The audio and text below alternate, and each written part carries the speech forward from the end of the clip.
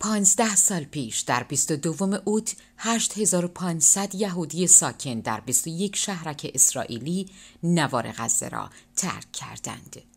با وجود خروج یهودیان اسرائیلی و ارتش از این مناطق میراث حضور طولانی مدت اسرائیل اما همچنان در غزه حس می شود. دو سال بعد از خروج ارتش حماس کنترل این مناطق را به دست گرفت و در پی آن اسرائیل نوار غزه را محاصره کرده.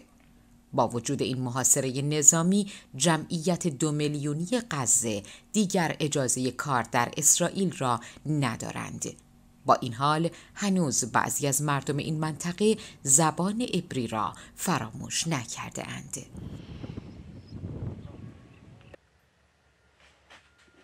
عبدالرحمن کشاورز فلسطینی در یک گلخانه در جنوب نوار غزه مشغول به کار است.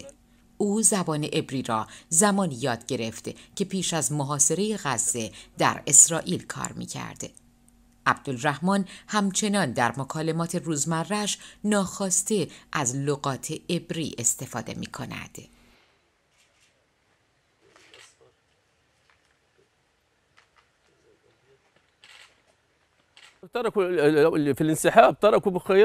بعد از عقب نشینی اسرائیل شهرک نشینا خیلی از وسایلشون رو جا گذاشتن.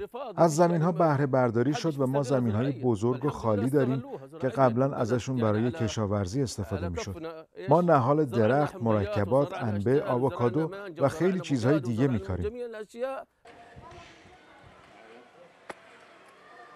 بعد از خروج ارتش اسرائیل بعضی از زمین های این منطقه به تفریگاه و نواحی گردشگری تبدیل شدند. قبلا اینجا پر از شهرک های یهودی نشین بوده.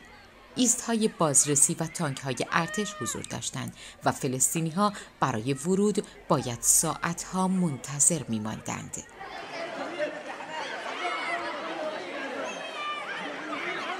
الجيت الحمد لله. يعني بعد ما انسحبوا اليهود. بعد از عقب نشینی سربازای اسرائیلی ما راحت با خانواده و بچه هامون میم اینجا. قبلا خبری از تفریح و پیکنیک نبود چون شهرک نشین ها این منطقه رو گرفته بودن و ما اجازه ورود نداشتیم. يعني نقدرش نوصلها خالص. با وجود اینکه حالا خبری از یهودیان نیست اما بعضی از مردم این منطقه هنوز با زبان عبری با هم گفتگو می کنند. سال گذشته بعد از آتش بس بین حماس و اسرائیل بعضی از مردم غزه برای کار اجازه عبور از مرز را داشتند. اما با شیوع ویروس کرونا جلوی این رفت آمدها هم گرفته شد. دستمزد آن سوی مرزها چندین برابر درآمد کارگران در غزه است. اقتصاد سرزمین های فلسطینی روزهای ناپایداری را میگذراند. نسبت بیکاری در بین فلسطینی ها به بیش از 50 درصد رسیده که این رقم در بین جوانان فلسطینی بالای 60 درصد است.